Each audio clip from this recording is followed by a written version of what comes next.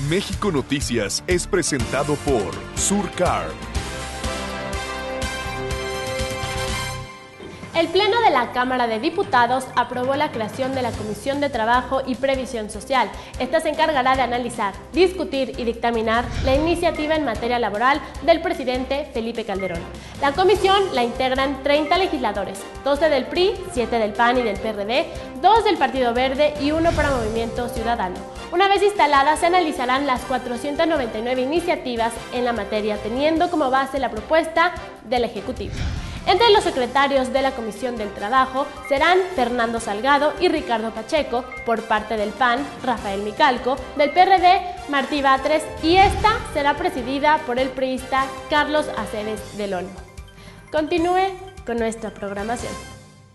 México Noticias fue presentado por Surcar.